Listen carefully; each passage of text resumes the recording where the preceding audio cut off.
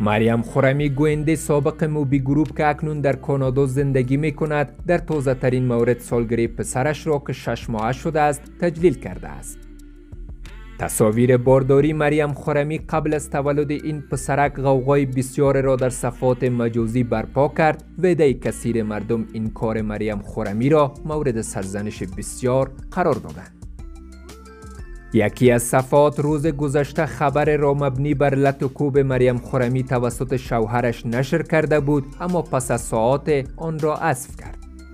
این منبع گفته است که مریم خورمی خواسته بود که شش ماهگی پسرش را تا یک محفل باشکو تجلیل کند اما شوهر او مانع شده بود و این موضوع باعث کشمکش و لطکوب مریم خورمی شده است.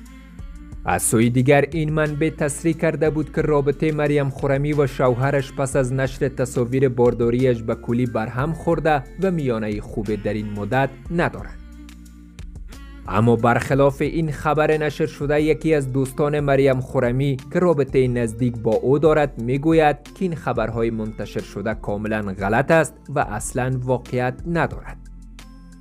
این دوست خانم خورمی در ادامه گفته است که رابطه خیلی صمیمی و عاشقانه میان مریم خورمی و شوهرش وجود دارد و هر کار آنها به مشوره یکدیگر پیش می رود.